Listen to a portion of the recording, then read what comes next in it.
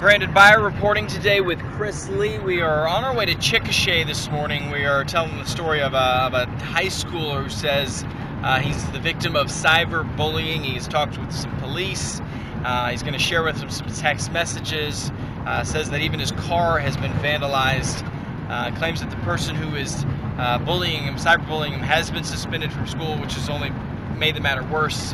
And now he's being targeted even more. We're also going to uh, bring into this the, uh, the, the legislation that Senator Andrew Rice is is trying to have introduced into law to uh, figure some stronger protections for kids to protect them against cyberbullying.